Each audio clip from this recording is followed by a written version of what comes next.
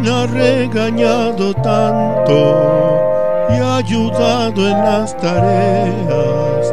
¿Quién nos ha enjugado el llanto por las pesadillas feas? ¿Quién al defender a un hijo en una fiera se vuelve?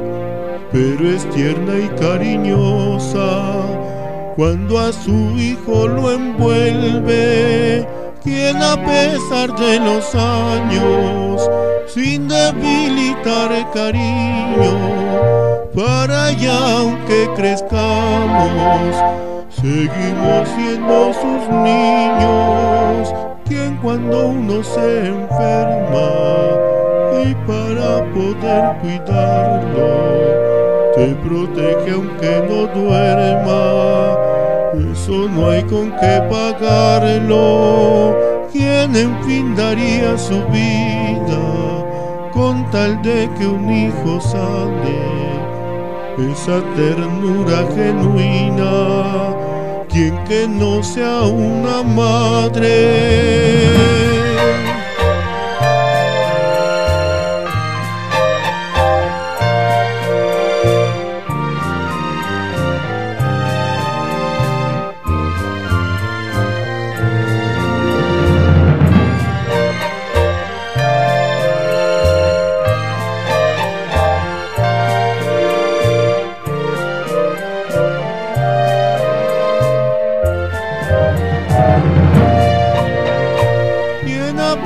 De los años, sin debilitar cariño, para allá aunque crezcamos, seguimos siendo sus niños, quien cuando uno se le enferma y para poder cuidarlo, se protege aunque no duerma.